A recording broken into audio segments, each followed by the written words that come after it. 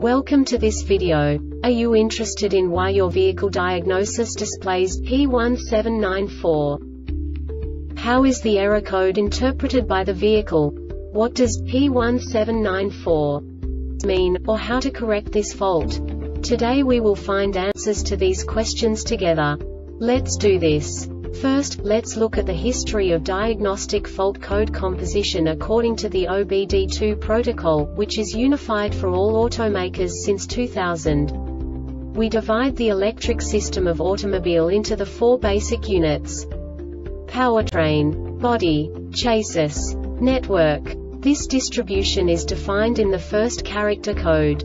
If the second character is expressed as zero, it is a standardized error. In the case of numbers 1, 2, 3 it is a more prestigious expression of the car-specific error.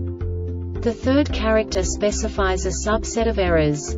The distribution shown is valid only for the standardized DTC code.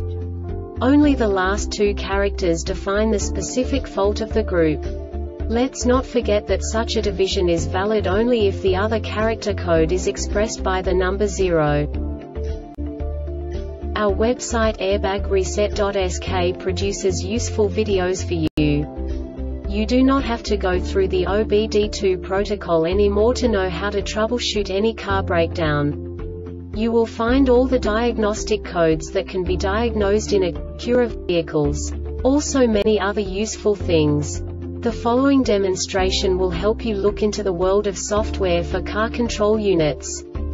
You unbelievably can move the video a bit further. The error code is split into two bytes consisting of 16 bits. One bit is the basic unit that each computer works with. The bit has two logical states. 0, low level, 1, high level. By combining the first two bits, the basic character of the error code is expressed. The next two bits again determine the second character. The last beat styles of the first byte define the third character of the code. The second byte is composed of a combination of 8 bits. The first 4 bits determine the fourth character of the code.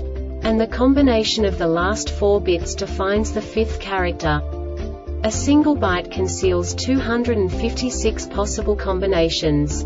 We now know in what way the diagnostic tool translates the received information into a more comprehensible format. The number itself does not make sense to us if we cannot assign information about it to what it actually expresses. So, what does the diagnostic trouble code P1794 interpret specifically for car manufacturers? The basic definition is at barometric pressure sensor circuit malfunction. And now this is a short description of this DTC code.